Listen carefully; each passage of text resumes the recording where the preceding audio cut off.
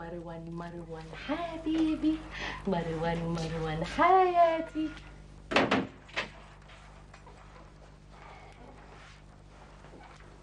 مرحبا شهيرة أهلا وسهلا. يعطيك العافية. الله يعافيك.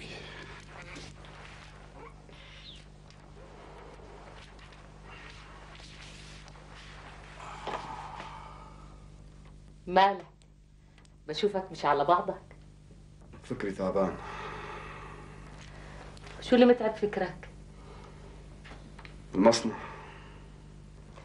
خير ماله المصنع؟ هلا جوعان وتعبان. حطي لي أكل وبعد الغدا بنحكي. حاضر. روح انت غير أواعيك وغسل حتى أجهز الغداء. تفضل.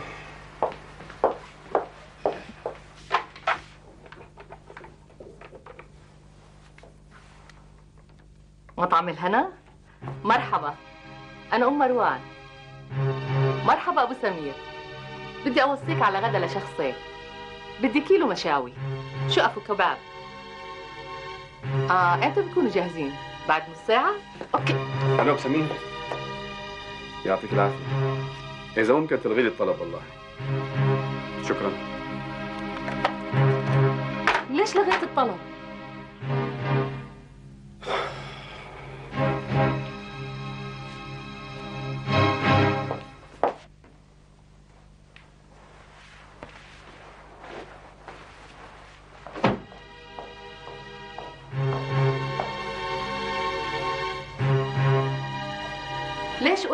سمير يلغي الطلب؟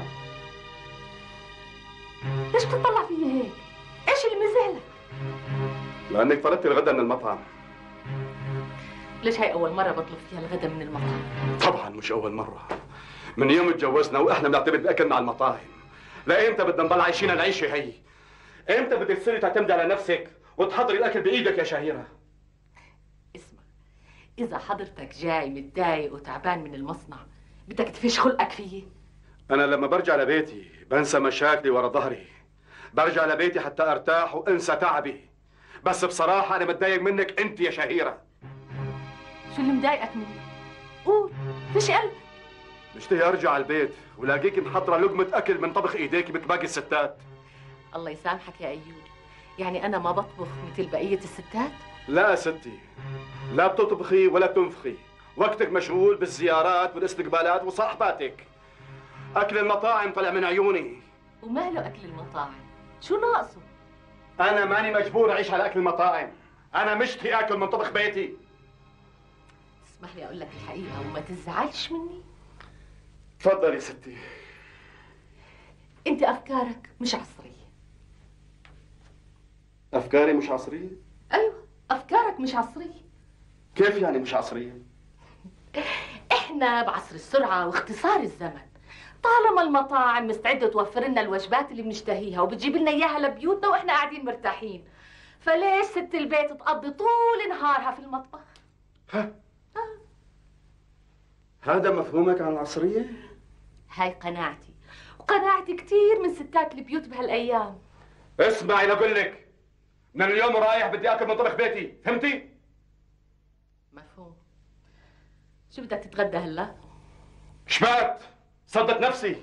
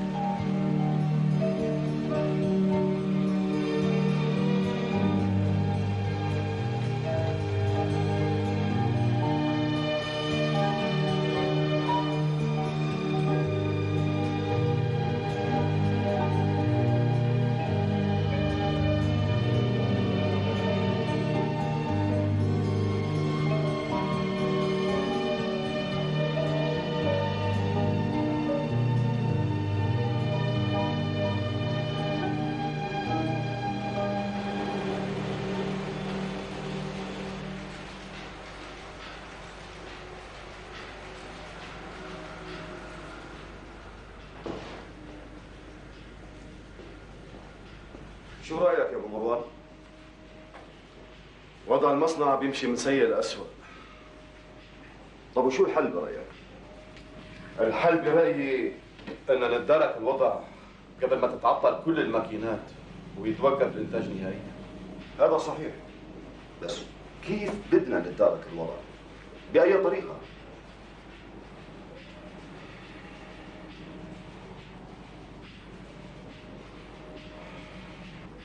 مالك ساكت. شو الطريقة اللي ممكن نتدارك فيها وضع المصنع قبل ما تتعطل كل الآلات ويتوقف الإنتاج؟ ما بدي أعطيك جواب ارتجالي. الأفضل إني أفكر بهالموضوع قبل ما أعطيك جواب. ماشي يا أبو مروان. ماشي. إذا خلينا إحنا اثنين نفكر بطريقة مجدية. نخلص المصنع من وضعه السيء وبأسرع وقت ممكن. توكلنا على الله. أنا ماشي بدك مني شيء؟ سلامتك. السلام عليكم. الله معك.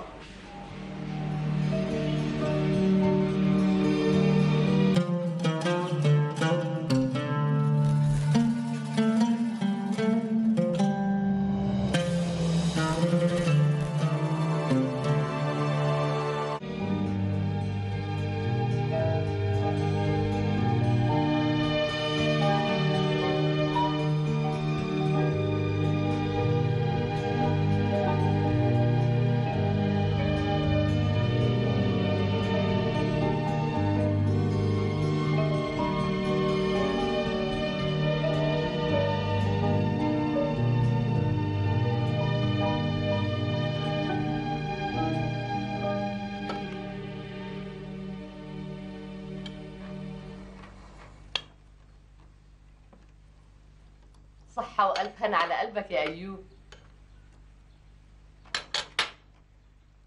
يسلموا إيديك يا شهيرة. تعيشي وتطبخي. بوجودك فوق راسنا دايما يا سيدي البيت.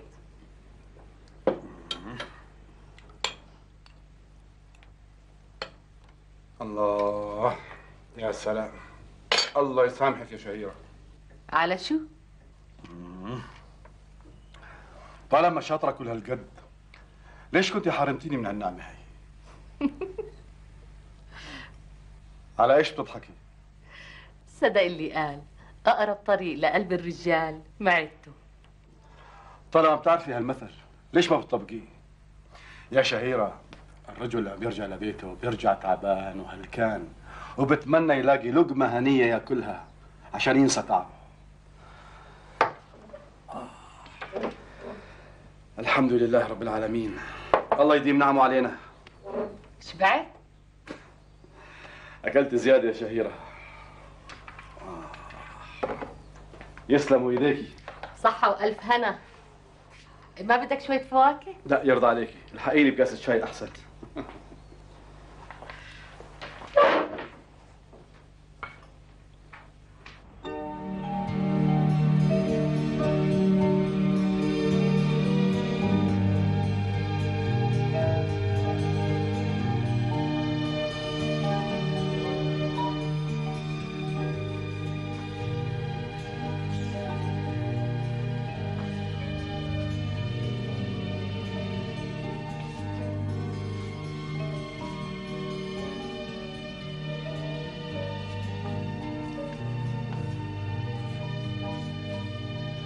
عم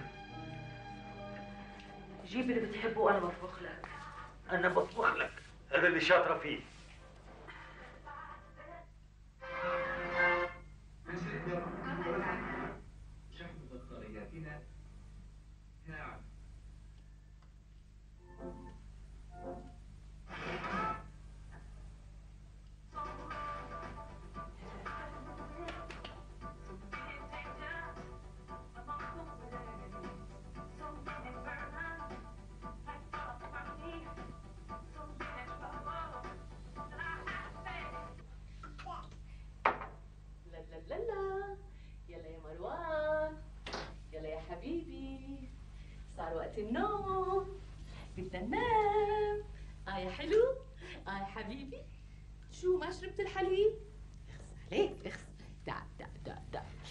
ياخدي ياخدي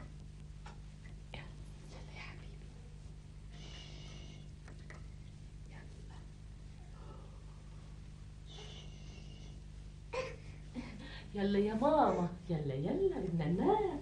إيش؟ بدك تلعب؟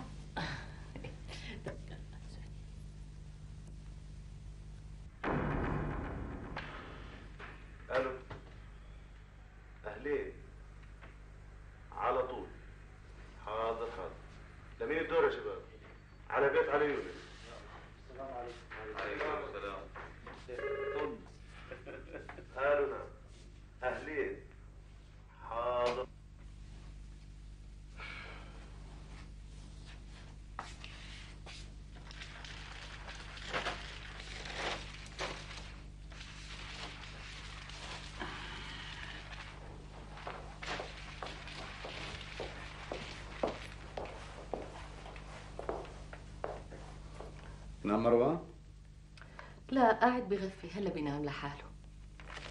شو ما في شيء بالتلفزيون؟ مسلسل تافه ما بينشاف. ييه يا أيوب شيبت لحظة لحظة خليني أعدهم. واحد اثنين ثلاثة أربعة. هذا شعرك معبى. أكثر من 100 شيبة فيه. يا ستي بكرة بشتري صبغة وبالصبغه لا والله ما بتصبغهم الشيب لابق لك. أيترك هالجريدة مضايقني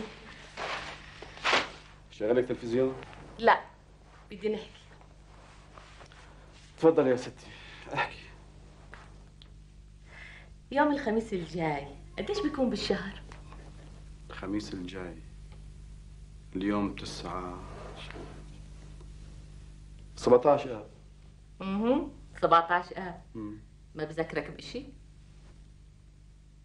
ماني متذكر. ذكريني أنت. شفت؟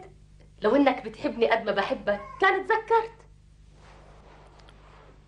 صدقيني هالأيام صاير أنسى حالي من كثر المشاكل بالمصنع. معلش ذكريني أنت. أها 17 آب قبل خمس سنوات اتجوزنا. يعني يوم الخميس الجاي 17 آب ذكرى مرور خمس سنوات على زواجنا. حق معك يا ستي إن شاء الله عقبال 100 سنة.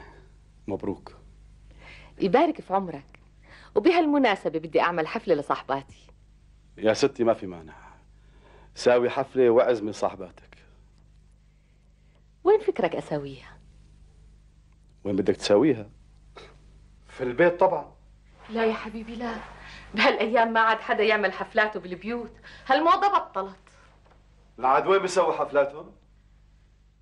الناس بهالأيام تعمل حفلاتها بصالات خاصة بالأوتيلات. بس الحمد لله بيتنا واسع وكبير. وما في لزوم لصالة. كل صاحباتي بيعملوا حفلاتهم بالأوتيلات. وهن مش أحسن مني ولا أنا أقل منهم ولا جيزانهم أحسن منك. أنا مضروبة بحجر كبير يا حبيبي. أنا مش مقتنع بهالكلام. هذه كلها مظاهر وأنا بكره المظاهر. يا عيوني لا تخجلني. خليني رافعة راسي قدام صاحباتي. يعني إذا أنت ما دللتني وقدرت قيمتي ورفعت راسي قدام صاحباتي مين إلي غيرك؟ أمري لله ماشي الحال. بكرة بحجز لك صالة. الله يطول عمرك ويديمك إلي يا حبيبي يا أيوب. إيه، أكيد الهدية رايحة تكون مفاجأة لكل الحاضرين مش هيك؟ لوقتها فرج. تصبح على خير. تلاقي الخير.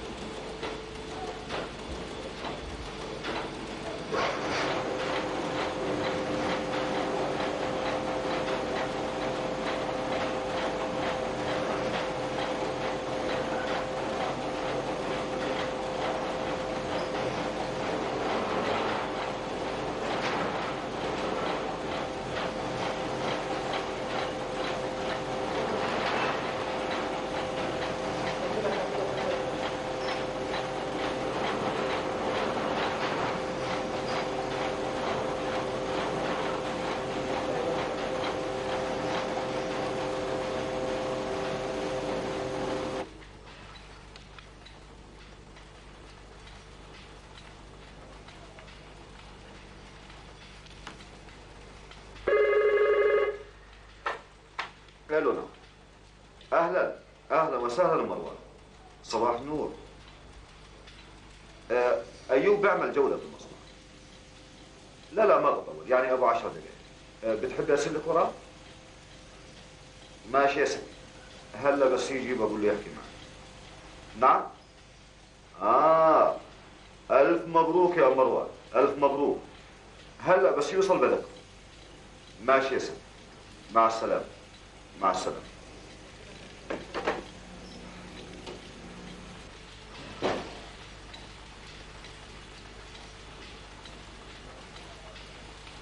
السلام عليكم.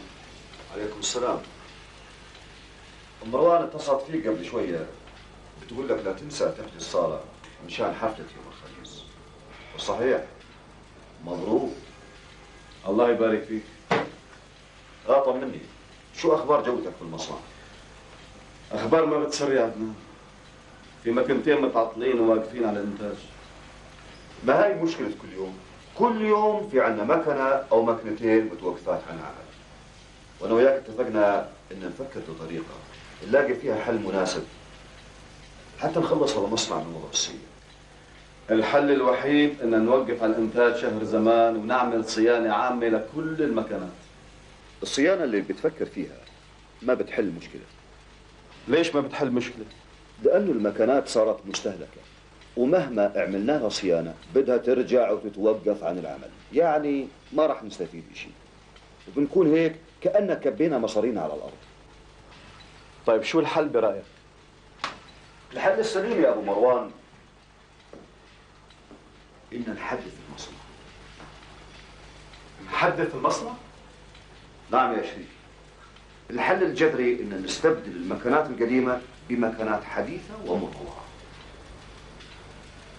كلامك سليم لكن مشروع تحديث المصنع مشروع مكلف أكيد مكلف بس راح نرتاح بالمستقبل وتكون نسبة أرباحنا أعلى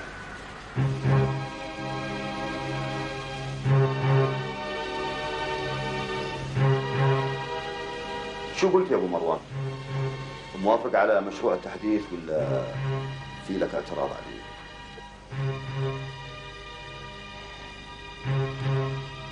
آسف. ما بقدر أجاوبك على سؤالك بالوقت الحاضر يا عدنان. وليش ما بتقدر؟ بفهم من كلامك إنك مش مقتنع بالمشروع. لا مش السبب مقتنع أو غير مقتنع. ولا شو السبب؟ يا سيدي السبب مادي. ما بعرف إذا إمكانياتي المادية بتساعدني أوافق على التحديث معك أو لا.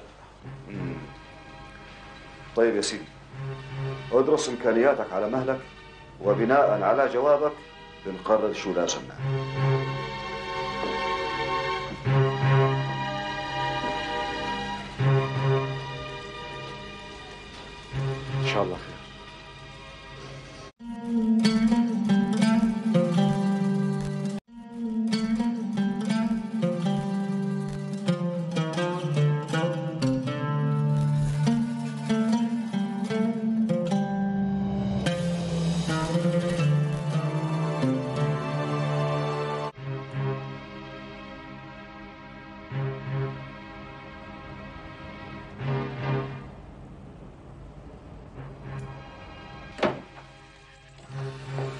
يا ريت ما كانت هالحفلة ولا انحطيت بهالموقف المحرج قدام صاحباتي. هاي هدية؟ هاي هدية تهديني إياها قدام صاحباتي بفكرة زواجنا؟ مالها الهدية هذه؟ ها؟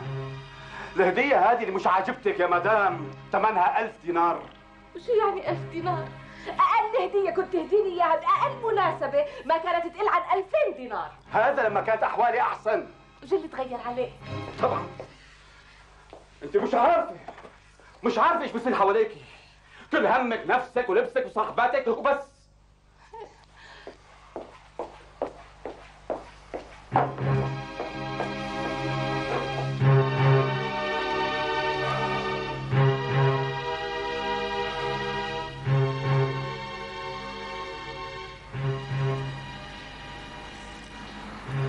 وهذه أهم المشاكل اللي بيعاني منها المصنع. بالوقت الحاضر يا أبو أنور. وإذا استمر الحال على هالوضع بجوز أن نضطر نسكر المصنع. طيب أنتم بتعملوا صيانة دورية للمكنات؟ الصيانة يا أبو أنور مستمرة لكن المكنات قديمة وصارت مستهلكة والصيانة ما عادت تنفع إلها. المكنة اللي بنعملها صيانة اليوم بعد فترة ترجع وتتعطل يعني الفلوس اللي بندفعها صيانة على المكنات بتروح هدر وخسارة. والحل الوحيد يا سيدي إن نحدث المصنع بآلات ومكنات جديدة ومتطورة. هذا الراي السليم شريكك موافق على مشروع التحديث؟ لسه ما أعطاني الجواب النهائي لكن أنا أنا ملاحظ إنه متردد. طيب لنفرض إنه شريكك ما وافق معك على تجديد الماكينات أنت شو راح يكون موقفك؟ ما بعرف يا أبو أنور. في احتمال إن نسكر المصنع وفي احتمال ثاني إن نعرضه للبيع. لا لا يا سيد عدنان. إذا شريكك بوافق يبيعني حصته وينسحب. أنا على استعداد أنزل معك شريك مكانك. وأنا اللي الشرف إنك تكون شريكي يا أبو أنور.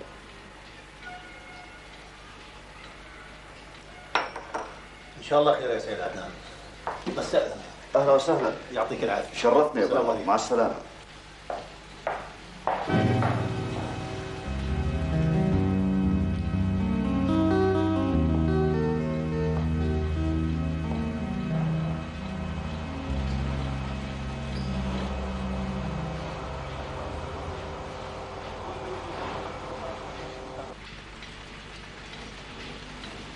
أنا آسف.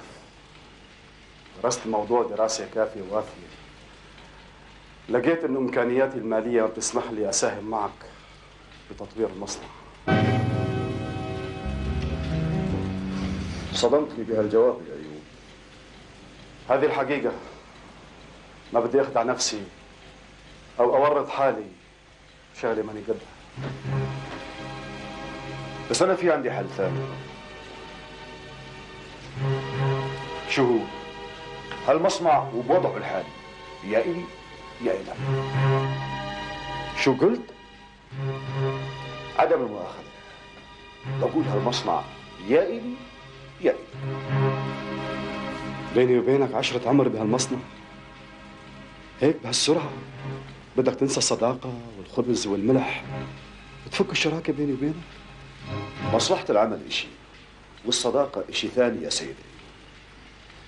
والمثل بقول الضرورة إلها أحكام. أنا ما ببيع صداقتك بأي ثمن وبتمنى تستمر شراكتنا طول حياتي عاد التمني غير الواقع. بصراحة يا عدنان إذا بتحب تستمر شراكتنا ونضل مع بعضنا بنقدر نلاقي الحل المناسب من غير ما نخسر بعض. كيف؟ هات لشوف يا أبو مروان. أنت وضعك المالي جيد والحمد لله. وبإمكانك تحديث المصنع لوحدك واللي بيطلع علي بتاخده مني على دفعات ليش بتضحك؟ في شيء بكلامي بضحك يا سيد عدنان؟ إذا كنت بدي أحدث المصنع لحالي ساعتها ما في لزوم يكون معي شريك طيب في عندي حل ثاني شو رأيك مقابل تحديثك للمصنع تأخذ جزء من حصتك لا لا لا. خلاصة الكلام. المصنع يا إلي يا إلك غير هيك ما في حل. حاسس كأنك بتعجزني. وبدك تطفشني وتدخل شريك تاني بدالي لا تظن في السوق. يا إما أنت تشتري حصتي وتتصرف بالمصنع مثل ما بدك. يا إما أنا بشتري حصتك وبتصرف بالمصنع مثل ما بدي. ماشي الحال يصير خير. لوين ماشي؟ على بيتي. على بيت وشو قررت؟ بلغت المناسب. بعطيك جواب. وإمتى يمكن يكون هالوقت المناسب إن شاء الله؟ أنا بحدده. عدم المؤاخذة يا سيد أيوب إحنا يوميا في عنا خسارة. لإمتى بدنا نضل واقفين نتفرج؟ وانت عم تتخرج أنا؟ اتهرب هذا رأيك؟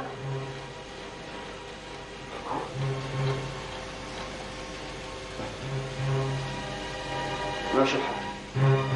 وقف المصنع.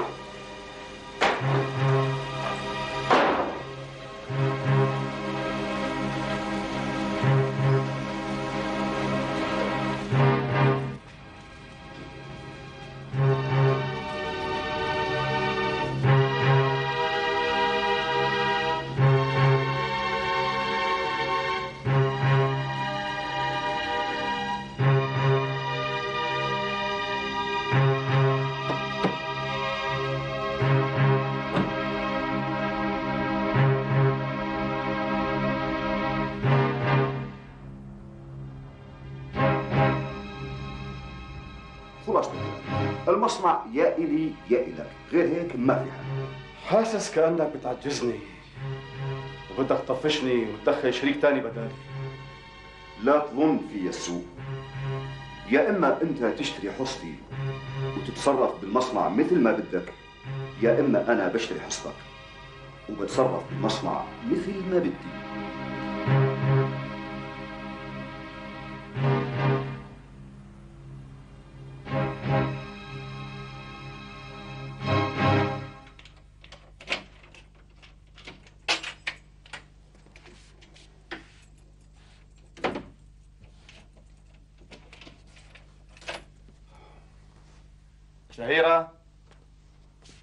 شهيرة. شهيرة.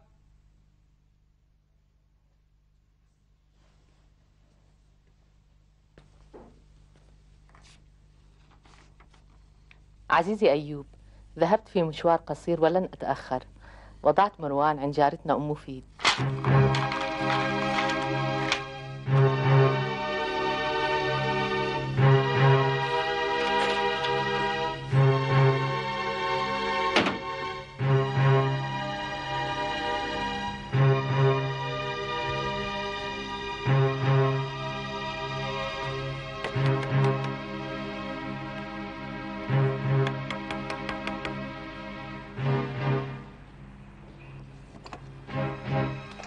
مرحبا جارتنا أهلا وسهلا أبو مروان.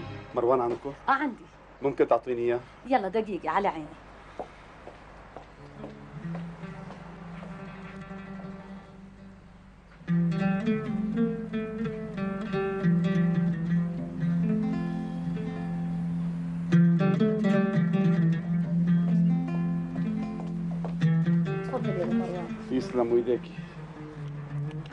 على مهلك علي الولد نايم. إن شاء الله بنخدمكم بالأفراح. بوجودك يا أبو مروان.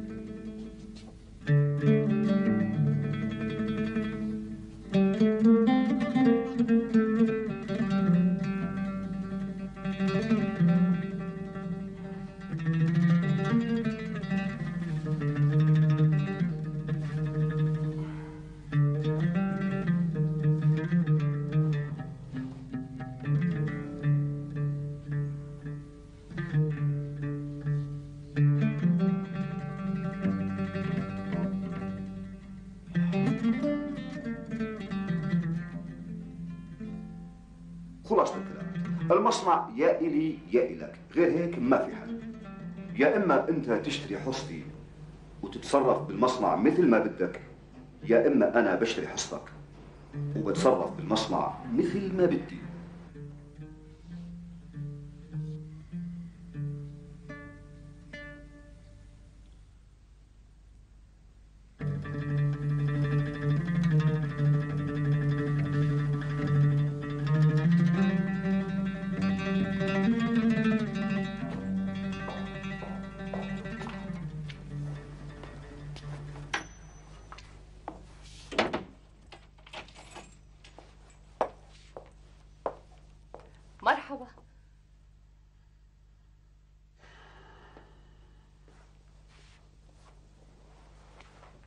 قلنا مرحبا.